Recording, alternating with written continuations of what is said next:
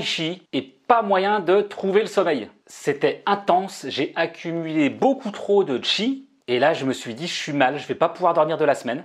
Faut que je trouve un truc pour me défouler. Et le meilleur truc que j'ai trouvé pour me débarrasser de ce chi en surabondance, bah, c'est de relever un morceau de Birelli.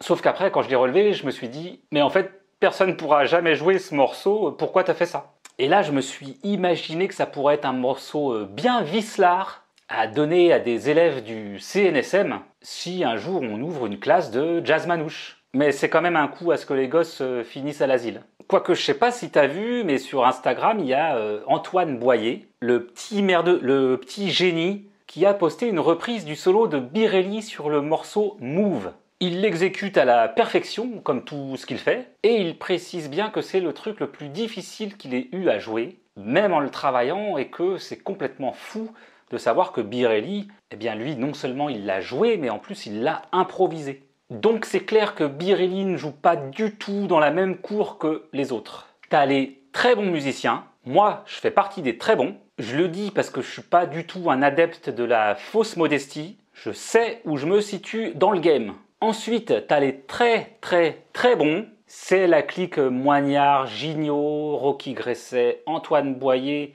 etc. Déjà entre les très bons et les très très très bons, il y a un gros écart. Et après les très très très bons, il y a Birelli qui est tout seul dans sa catégorie. Et après, il y a le Tao. En fait, il n'y a rien. Voilà, donc Antoine, je te lance le défi. Si jamais tu veux jouer Hungaria, je t'ai mâché tout le boulot, il n'y a plus qu'à bosser. D'ailleurs, ce qui serait drôle, parce que c'est quand même un solo d'anthologie, c'est qu'on rende un hommage à Birelli, qui le mérite largement, et qu'on joue tous ce solo à l'unisson comme il est coutume de le faire avec le solo de Django sur les yeux noirs par exemple. Si tu veux jouer ce solo, tu peux regarder ma vidéo, j'ai tout détaillé.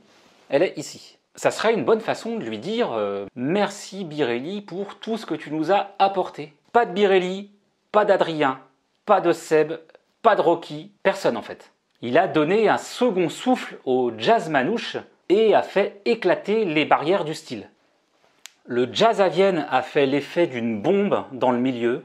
Et avec le Live in Paris, il en a rajouté une couche. Donc comme d'hab, j'ai mis la partition en téléchargement gratuit sur le blog, au format PDF et aussi au format Guitar Pro. Le lien est dans la description. Alors je sais pas si tu as remarqué sur la partition, les mecs jouent terrible mais ça bouge pas mal au niveau du tempo. 295, 300, 303. Ça me rappelle quand je faisais de la moto. Les mecs on croirait qu'ils sont à balle en mode la tête dans le guidon. Allez vas-y, 295, 300, 303.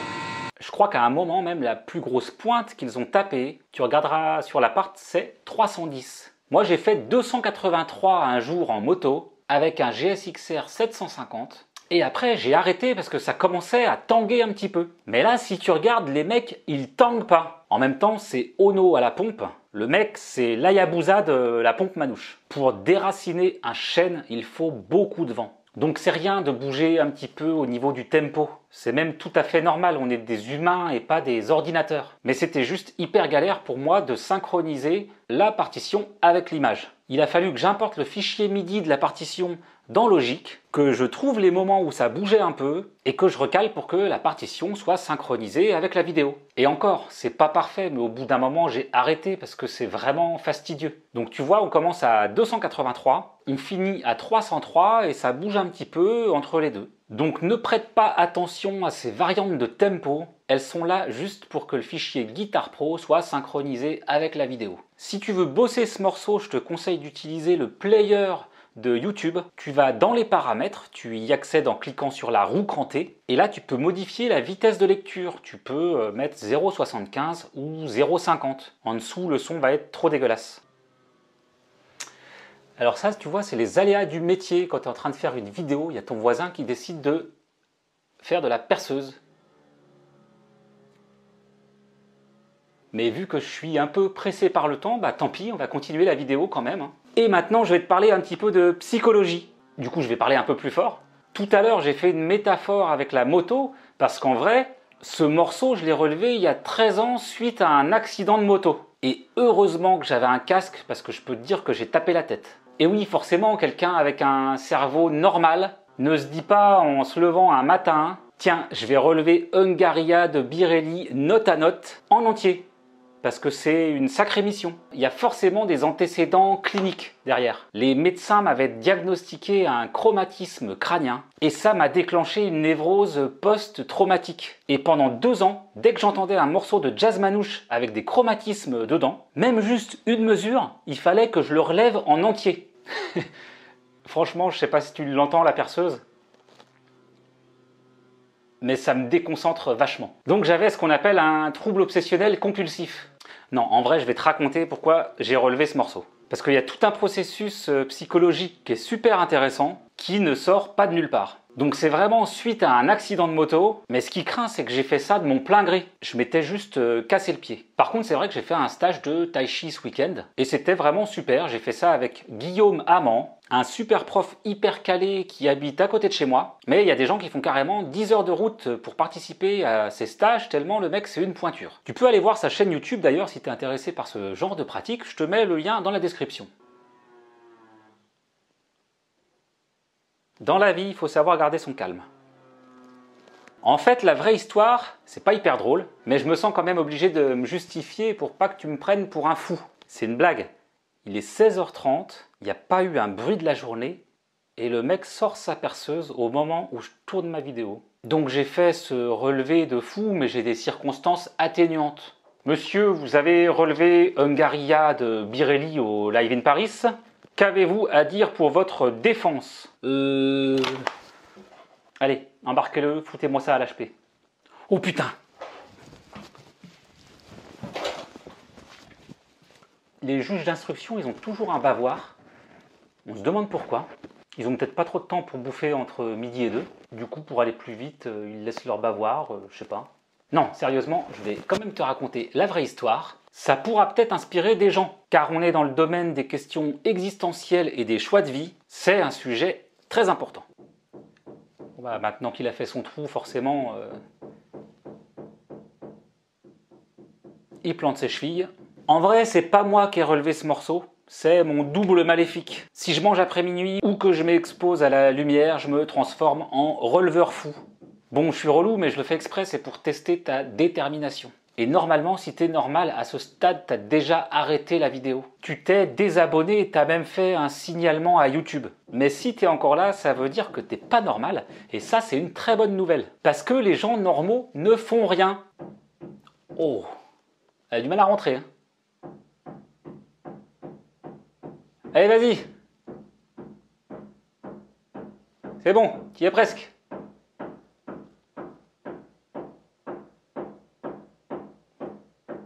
Il faut faire un trou plus gros la prochaine fois. Hein. Voilà. Donc les gens normaux, c'est ce qu'on appelle la foule, la masse ou les spectateurs. Les acteurs sont bien différents, ils n'ont pas la même mentalité.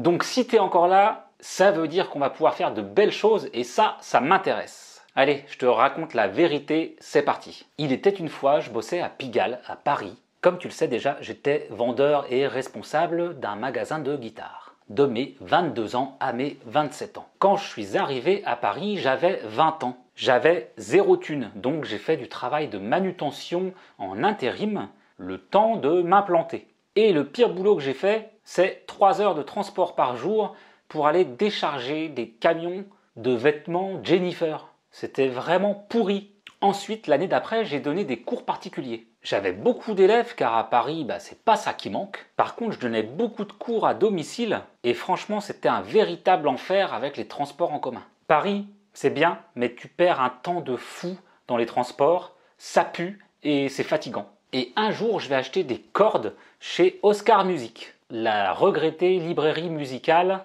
pour les guitaristes modernes. J'étais avec ma nana de l'époque, je prends mon jeu de cordes et je me casse. Et en sortant, elle me dit Mais t'as pas vu euh, la petite affiche? Il cherche un vendeur. Et moi, ce magasin, je le connaissais par cœur parce que j'y étais tout le temps fourré pour acheter des méthodes et des vidéos pédagogiques. J'ai craqué une thune de ouf là-bas. Du coup, je me suis dit Bah ouais, ça serait pas mal ça. Ça pourrait me sortir de ma galère de filer des cours de gratte dans ces conditions et de me poser. Je re-rentre dans le magasin, la patronne me dit de ramener un CV. Je rentre chez moi, chercher un CV, j'y retourne direct. Ça faisait le mec bien motivé. Je passe l'entretien avec le responsable du magasin. Il voit que je connais le magasin par cœur, que je suis sérieux et il m'embauche direct. C'est comme ça que j'ai mis les pieds à Pigalle. Ah, il plante sa deuxième cheville. Et là, pendant un an, j'ai eu accès à tous les DVD et à toutes les méthodes du magasin gratos. Et ça m'a vraiment permis de développer encore plus mes qualités de pédagogue. Car toute la journée, on passait des DVD pédagogiques sur la télé. Et donc pendant 8 heures par jour, j'assistais à des masterclass de guitare, de basse, de batterie. On avait une énorme armoire de DVD pédagogiques et je les ai tous regardés 10 fois. Je faisais mon taf et j'avais toujours une partie de moi qui était concentrée sur la télé. Et tous les soirs, je prenais une méthode, je la ramenais à la maison pour la bosser, et le lendemain, je la ramenais au boulot pour la vendre. Si j'avais dû acheter tout ce que j'ai étudié, ça m'aurait coûté 10 000 balles. Donc je reçois plein de messages de votre part euh, me disant que vous appréciez mon approche pédagogique, mais ça vient pas de nulle part, il y a un travail de titan derrière. En revanche, ce que j'ai toujours voulu faire au départ, c'était ni prof de gratte, ni vendeur de guitare. Je voulais être musicien professionnel, je voulais vivre de la musique, faire des concerts, à 16 ans, j'avais fait la demande à mes parents d'arrêter l'école pour faire que de la musique, mais malheureusement, ma demande a été rejetée. Et j'ai dû continuer les camps d'endoctrinement qu'on appelle l'école.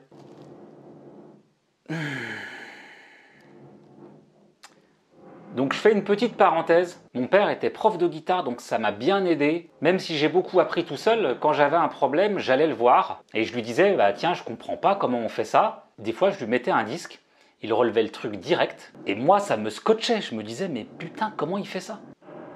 Ah putain, là, c'est insupportable. je pensais jamais arriver à faire la même chose. C'était hyper impressionnant. Mais c'était cool. Il me montrait le truc. Moi, je retournais dans ma chambre et j'allais bosser. Et du coup, grâce à ça, parce que c'est quand même une chance d'avoir un prof à la maison, j'ai progressé hyper vite. Alors moi j'aime bien la vitesse et les choses pointues, que ce soit en guitare ou en sport j'ai toujours eu un côté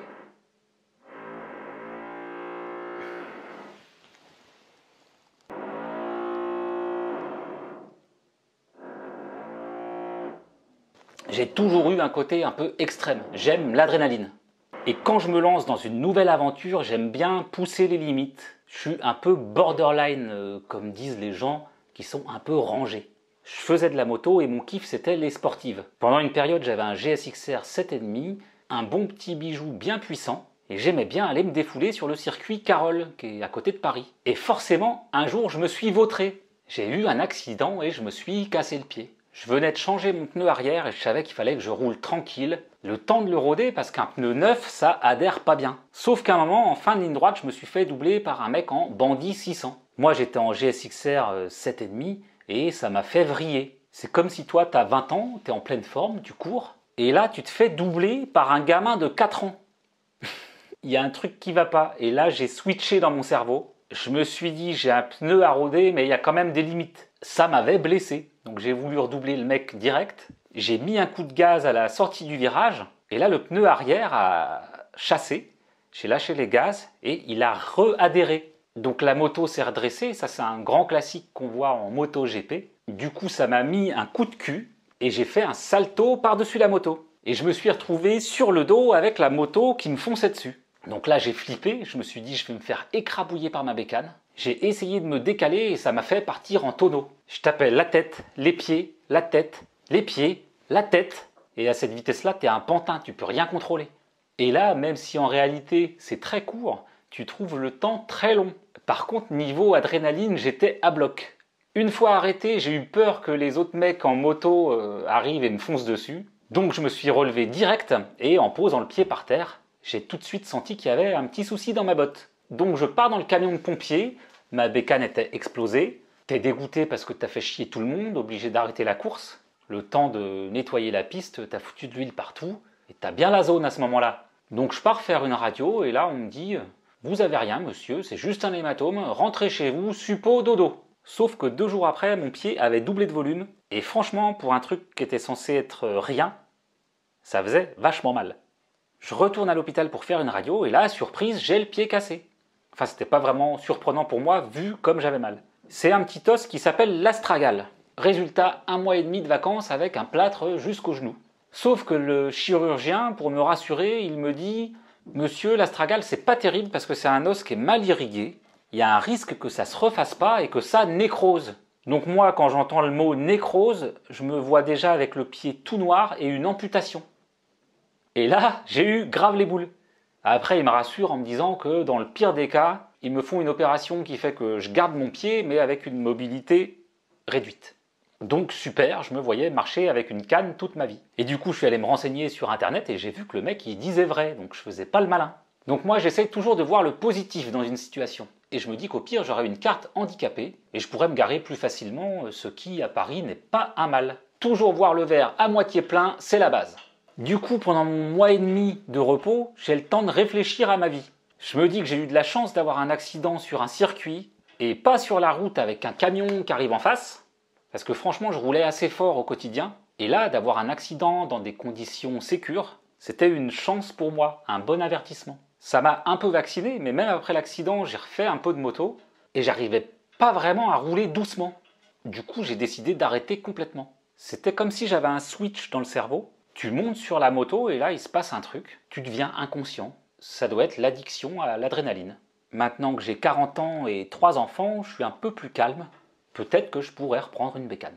Donc pendant ma période de convalescence, je bosse ma gratte toute la journée parce que j'ai rien d'autre à faire, à part me faire des piqûres pour éviter euh, la phlébite. Et je commence à réfléchir au sens de ma vie. Souvent, un gros traumatisme, accident ou maladie, ça amène des cas de conscience. Tu te dis, la vie peut basculer du jour au lendemain, tu peux crever en un claquement de doigts et ça te fait grave cogiter. Ça déclenche une crise et tu commences à te débarrasser de certains trucs. Et là, je me rappelle de mon rêve de gosse qui était d'être musicien. Et je me suis dit, t'as 27 ans, c'est maintenant qu'il faut que tu te bouges le cul. L'accident pour moi a été un déclencheur. Je me suis rappelé que j'avais un engagement envers moi-même que j'avais oublié, un contrat tacite envers mon moi adolescent, et j'avais pris une direction qui n'honorait pas du tout ce contrat. Et je me suis dit, merde, la vie elle est courte, ça peut s'arrêter du jour au lendemain, c'est quoi ce bordel? Pourquoi on se donne pas les moyens de faire ce qu'on a vraiment envie de faire? Et en fait, ce jour-là, j'ai cassé un schéma classique. J'ai rompu tous les petits contrats pourris que j'avais inconsciemment de répondre plus aux attentes de mes parents et de la société. Genre, faut être bien dans le rang, musicien, c'est pas un métier, ou alors c'est un métier de saltimbanque. J'avais plein de cristallisation mentale pourries qui m'appartenaient pas en fait. C'était du bourrage de crâne. Et d'un coup, j'ai décidé d'écouter l'appel de mes tripes et pas les petites voix des petits euh, moineaux autour de moi qui bizarrement pensent qu'ils savent toujours mieux que toi ce qui est bon pour toi. D'ailleurs, j'ai décidé que je n'écouterai plus jamais les conseils de quelqu'un qui a une vie qui ne m'inspire pas du tout. C'est rédhibitoire. D'ailleurs, sur ma table de nuit, D'ailleurs, sur ma table de nuit, j'ai ça. Et je peux te dire que quand je me lève le matin, je tergiverse pas. En plus, il a une fleur d'or entre les dents, mais on parlera de ça plus tard. Ce truc, à lui tout seul, symbolise ce que je pense de la vie. Donc deux mois après cet accident, je retourne bosser au magasin. J'ai trop mal aux pieds, la, rééducation, est difficile, et j'ai plus du tout envie de bosser. Je suis vidé, je pense qu'à me barrer pour faire de la zik. J'explique à mon entourage proche que j'ai envie d'arrêter pour me lancer dans la musique, et là ils m'ont regardé en disant mais t'es fou, c'est immature, tu peux pas faire ça, tu vas être papa. J'allais avoir en effet mon premier enfant à l'époque. Ils m'ont dit, tu feras peut-être ça plus tard. C'est pas le bon moment, et patati et patata. Et faut se méfier avec l'expression tu feras ça plus tard parce que dans la majorité des cas, ça veut dire jamais. Bref, un jour j'ai craqué, j'ai envoyé bouler tout le monde, j'ai demandé une rupture conventionnelle et je suis parti pour 23 mois de chômage qui allait me servir de congé professionnel de formation. Période pendant laquelle il fallait que je mette à jour mon niveau de guitare, que je me fasse un réseau de musiciens et que je vive de la musique. Et là, ça m'a libéré. J'ai 10 ans de frustration qui sont sortis d'un coup. Ça m'a donné des ailes et une énergie de malade. J'étais devenu un lion. Et en plus, ce qui est drôle, c'est qu'à ce moment-là, j'avais rencontré Aurélien Robert qui était dans le même cas que moi, même âge, et pareil, il avait arrêté son taf pour se lancer dans la musique. Il avait un petit enfant comme moi, et il avait suivi le même parcours que moi, il avait commencé par le rock et s'était mis au jazz après. Et en plus, on était voisins, on avait trouvé ça un peu troublant à l'époque. Et ça nous avait vachement rapprochés. C'était mon alter ego et mon compagnon de route dans cette nouvelle aventure. C'était trop bien et aussi rassurant quelque part de voir que j'étais pas le seul gogol à me lancer dans la zik à 27 ans. Donc je faisais au minimum 10 heures de guitare par jour. La journée, je faisais des relevés de façon compulsive en me disant qu'il fallait que je rattrape le temps perdu, à savoir tout ce temps où je me suis oublié pour faire plaisir aux autres. Et le soir, j'allais en jam. Et ça, ça a duré 3 ans. Et forcément, quand tu es motivé et que tu côtoies que d'excellents musiciens, parce que Paris c'est la jungle, mais il y a un niveau de ouf, aussi bien en jazz manouche que en jazz de manière générale ça fait un effet boule de neige et j'ai tourné dans cette boucle vertueuse pendant longtemps. Et c'est pour ça que je te dis dans mon e-book L'esprit du guitariste que c'est hyper important de bien choisir ton entourage. Et donc le relevé d'Ungaria de Birelli au Live in Paris est né de cette période. Voilà, tu connais le processus d'éclosion de ce relevé. Et j'ai quasiment relevé tout le jazz à Vienne et tout le Live in Paris. J'étais tellement motivé que je pensais que c'était possible de jouer comme Birelli et je m'en donnais les moyens. Alors j'ai regardé par curiosité combien j'ai fait de relevés. Je pensais en avoir fait à peu près 200. Et en fait, depuis 15 ans, j'en ai fait 468. Donc je suis pas prêt d'être en cours d'inspiration pour la chaîne. Quasiment tout est déjà prêt. Alors ils sont pas tous aussi complets et précis comme Garia. Des fois c'est juste des bouts de relevés, des fichiers d'exercices ou des phrases perso. C'est important de noter tes phrases. J'avais pris des cours avec le grand Serge Krief, prof incroyablement motivant il te file une énergie, ce mec, c'est incroyable. Et il avait des cahiers et des cahiers de plans à lui répertoriés par style. Dès qu'il trouvait un plan ou une phrase, il la notait sur un cahier. Être un excellent musicien, c'est beaucoup de discipline. Les trous de cul qui disent euh, musicien, c'est pas un métier, faut leur foutre des tartes. Moi, j'ai passé un nombre d'heures à bosser. Je pense qu'il n'y a pas beaucoup de métiers où tu bosses autant, parce que nous, c'est notre passion, donc les heures, on les compte pas. Moi, je peux te dire que même un chirurgien, il n'a pas passé autant d'heures que moi. Voilà, tout ça pour dire que toi, tu fais ce que tu veux, mais moi, je n'écoute plus ce qu'on me dit. Je fais ma life, ce qui me tient à cœur, et en fait, tout le monde devrait faire ça. Je décide de qui je veux être, de ce que je veux faire et avoir dans la vie, et je m'investis pour réaliser mes rêves, et pas ceux des autres. Et en réalité, quand tu oses faire ça, ça te simplifie la vie, c'est plus fluide. Tu es aligné entre ce que tu penses et ce que tu ressens, et il n'y a plus de problème. Aujourd'hui, je fais plus aucune concession. Je n'écoute que moi et je m'en porte bien mieux. Tu dois écouter tes tripes. Et le mental doit être au service de ce qu'il y a là et pas l'inverse. Tu dois être la priorité dans ta vie parce qu'il n'y a que toi qui peux t'offrir la vie que tu as envie d'avoir. Moi, le matin, quand je me lève, je kiffe tellement. Déjà, je vois mon copain là qui me rappelle à l'ordre. Et même si j'ai dormi 5 heures, je me lève. Alors que j'ai pas de patron. Mais ce que je fais, ça me rend tellement enthousiaste. J'ai envie de faire des trucs et de les partager. Et là, je rentre dans une nouvelle phase. À 40 ans, avec trois enfants, c'est moins pratique le métier de musicien. J'ai moins envie de courir à droite à gauche, de faire des bornes et d'être décalé. J'ai envie de me poser. Parce que quand tu es père de famille, tu fais des journées doubles. Tu te lèves le matin pour t'occuper de tes enfants, tu fais ta journée, et le soir tu pars bosser. Et rebelote le lendemain. Et là, ces quatre dernières années, j'ai pris trop cher avec ce rythme. Je peux plus. Donc je me remets à la pédagogie avec grand plaisir, avec en plus toute mon expérience de musicien pro, puisque ça fait 13 ans que je fais que ça, et c'est un vrai plus. D'ailleurs, je vais pas tarder en parallèle à relancer aussi ma chaîne de développement personnel sur YouTube, car je vois encore trop de gens qui sont bloqués dans des schémas qui les limitent, et qui restent dans des vies qu'ils n'aiment pas spécialement, où ils font toujours tout un tas de concessions. Et ça, pour moi, c'est pas acceptable.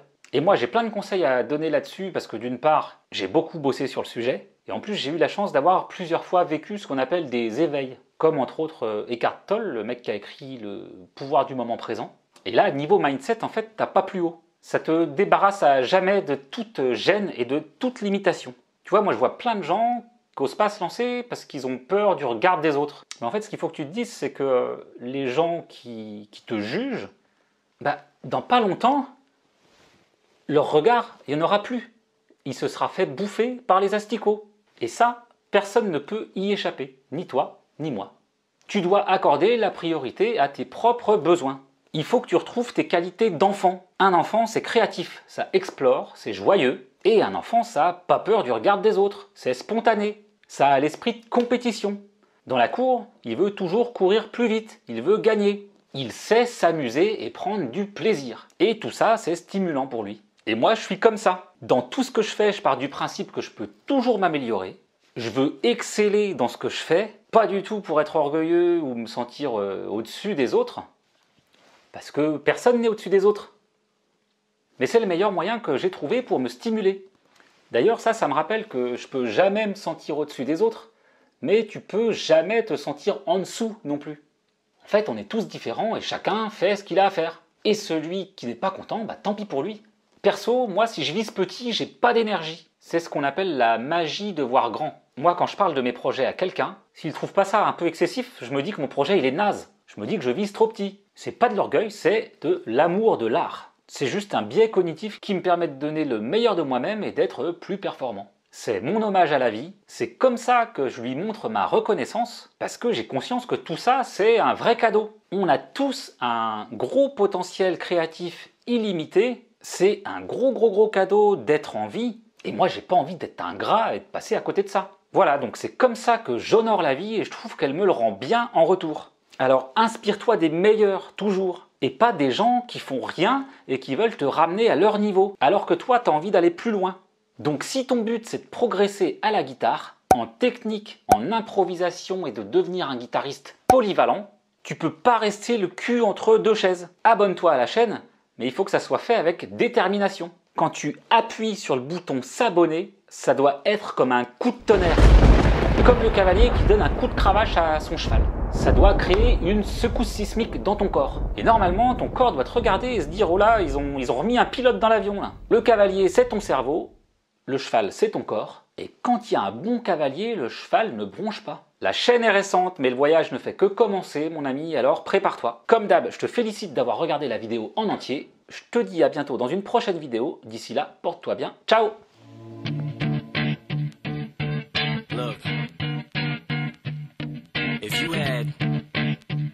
one shot,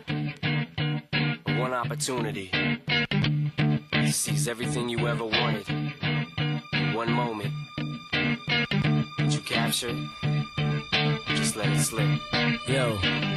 His palms are sweaty, knees weak, arms are heavy. There's vomit on his sweater already. Mom's spaghetti, he's nervous, but on the surface he looks calm and ready to drop bombs. But he keeps on forgetting what he wrote down. The whole crowd goes so loud, he opens his mouth, but the words won't come out. He's choking how? Everybody's choking now. The clock's run out, time's up, over, plow. Snap He's so mad, but he won't give up that He know he won't have it. He knows his whole back to these ropes. It don't matter, he's dope. He knows that, but he's broke. He's so sad.